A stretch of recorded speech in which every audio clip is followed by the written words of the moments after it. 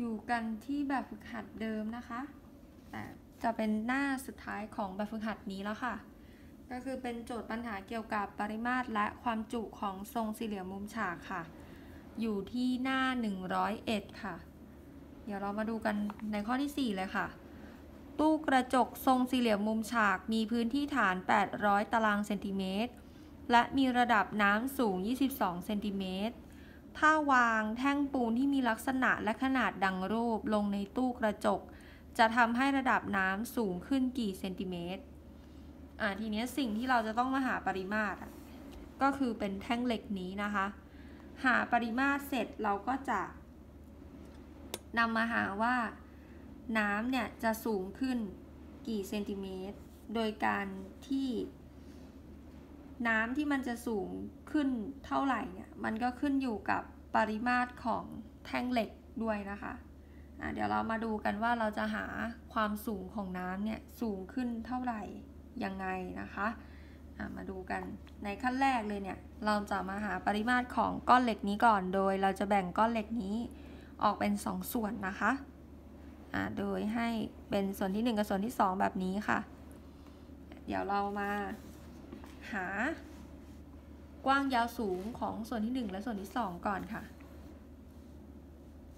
อะก็เขียนเลยว่า หาปริมาตร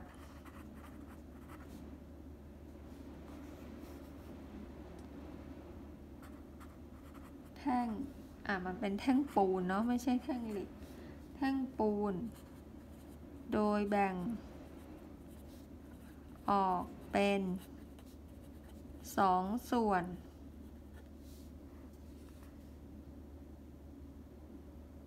ดังนี้ ก็คือแบ่งอย่างนี้เลยอะค่ะ ส่วนที่หนึ่งส่วนที่หนึ่งกว้าง กว้างก็คือเนี่ย ให้ความกว้างทั้งหมดมา10 อ่าไม่ใช่สิยี่สิบเซนติเมตรใช่ไหมคะ แต่ส่วนที่สองเนี่ยไปแล้วสิบก็สิยี่สิบลบสิบก็เหลือสิบใช่ไหมคะ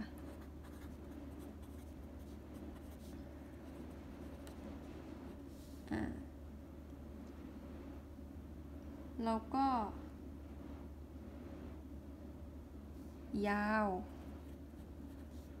สิบ แล้วก็หนาหรือสูงก็ได้อะใช้สูงสูง 8 เซนติเมตร ต่อมาส่วนที่ 2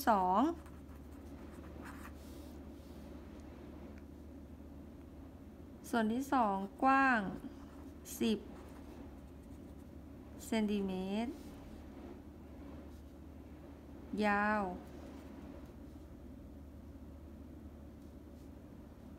10 เซนติเมตร สูง สูง อ่าสูงสี่ไม่ใช่สูงแปดสูงสี่เซนติเมตร อ่าทีนี้เราพอหากว้างยาวสูงได้หมดแล้วทั้งส่วนที่หนึ่งและส่วนที่สองนะคะ เราก็จะมาหาปริมาตรกันเลย ปริมาตร แท่งปูน ส่วนที่หนึ่งก็กว้างยาวสูง อะ อันนี้ลืมเขียนสูตรเลย ไม่เป็นไร ก็แทนค่าไปเลยก็ได้ กว้างยาวสูงก็คือ 10 คูณ 10 คูณ 8 ได้ 800 ลูกบาทเซนติเมตร แต่ถ้าไปทำข้อสอบแสดงที่ทำแล้วลืมเขียนสูตรนี่ถูกหักคะแนนด้วยนะ เออ ต้องห้ามลืม ต่อมาปริมาตรแท่งปูน ส่วนที่ 2 ส่วนที่ 2 ก็กว้างยาวสูงก็คือ 10คูณ10คูณ4อ่าได้ 400 ลูกบาทเซนติเมตร แล้วเดี๋ยวเราจะเอาสองส่วนนี้มารวมกัน แสดงว่า แท่งปูน มีปริมาตร แท่งปูนมีปริมาตรเท่าไหร่ ก็เอา 800 บวก 400 ได้ 1,200 ลูกบาทเซนติเมตร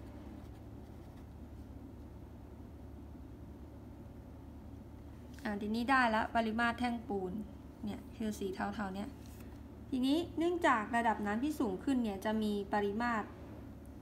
เท่ากับ ปริมาตรของแท่งปูนที่แทนที่น้ำนะคะะก็เขียนไปที่พูดไปเมื่อกี้ เนื่องจากระระดับน้ำที่สูงขึ้น จะมีปริมาตร เท่ากับ ปริมาตร แท่งปูน ที่ไปแทนที่น้ำนึกออกไหมก็คือเหมือนเวลาเราใส่อะไรลงไปในอ่างน้ำแล้วน้ำมันก็สูงขึ้นอะตรงตรงที่มันไปแทนที่น้ำมันก็คือสิ่งของที่เราไปแทนที่แล้วน้ำมันก็จะสูงขึ้นใช่ไหมคะอะทีนี้เราก็จะเขียนสูตร ปริมาตรทรงสี่เหลี่ยมมุมฉากที่เป็นพื้นที่ฐานคูณความสูงนะคะ ปริมาตรทรงสี่เหลี่ยมมุมฉาก เท่ากับ พื้นที่ฐาน คูณความสูงอะทีนี้ ถ้าเราสลับ เพื่อที่จะหาความสูง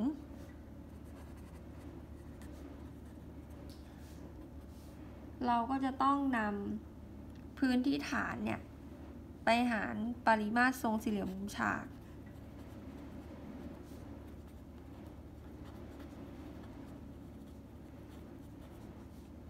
หารด้วยพื้นที่ฐาน อะ อั นนี้มันเหมือนเป็นการแก้สมการนะคะอะเราก็จะได้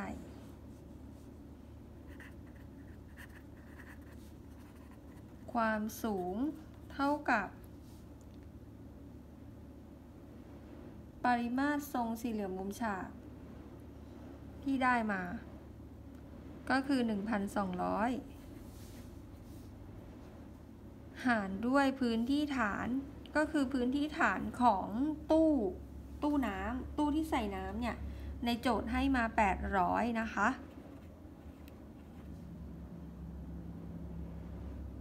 หารก็เหมือนการหารปกติเลยค่ะ ได้คำตอบเท่าไหร่ก็นำมาใส่ก็คือได้ 1.5เซนติเมตรได้คำตอบแล้วนะคะ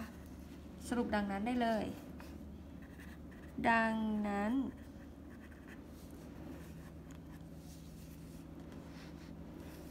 ถ้าวาง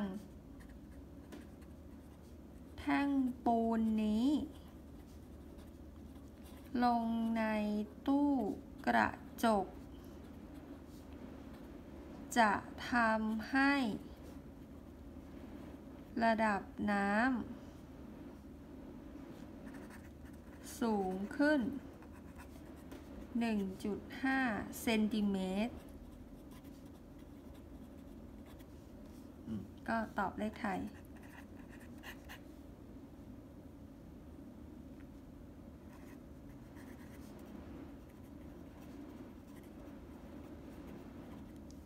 เดี๋ยวเรามาสรุปขั้นตอนในการหาคำตอบของข้อนี้กันค่ะว่าเราหาคำตอบมาได้ยังไง มีขั้นตอนอะไรบ้างนะคะะก็มีพื้นที่ข้างล่างเหลือหน่อยหนึ่งแล้วก็มาใช้พื้นที่ตรงนี้ ก็ในขั้นที่หนึ่ง หาปริมาตร แท่งปูน หาปริมาตรแท่งปูนเสร็จ ก็ในขั้นตอนที่สองนำปริมาตร แท่งปูน หารด้วย พื้นที่ฐาน ของตู้ กระจก อะ พอหารออกมาแล้วมันก็จะได้อะไร ความสูงที่โจทย์ถามนะคะในหน้านี้ก็จะมี 2 ขั้นตอนเหมือนกันก็คือในขั้นแรกเนี่ยหาปริมาณแท่งปูนก่อน แท่งปูนที่เราจะหย่อนลงไปในตู้กระจกนะคะ ขั้นต่อมาก็คือนำปริมาตรแท่งปูนที่หามาได้เนี่ยหารด้วยพื้นที่ฐานของตู้กระจก ที่ให้มานะคะ เราก็จะได้เป็นความสูงของน้ำที่เพิ่มขึ้นนะคะ เดี๋ยวเราไปรับชมบบฝึกหัดถัดไปในคลิปวิดีโอถัดไปกันเลยค่ะ